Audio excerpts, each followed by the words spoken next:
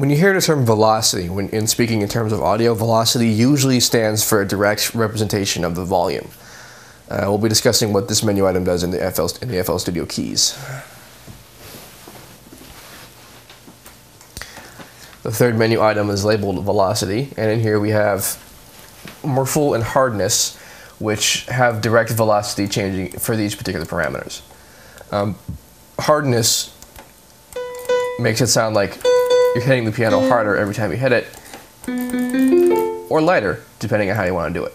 The velocity it changes how much that changes when you do the hardness, and the same thing with the muffle.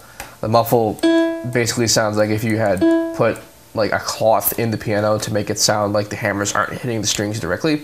And the velocity here also changes how much that changes that parameter. These parameters are used to make the piano sound more dynamic, more roomy, like as if you have been actually using this piano in a studio. And it makes it, it's really good for when you want to make more realistic sounding piano noises in an, a digital environment. And it will become in great handy.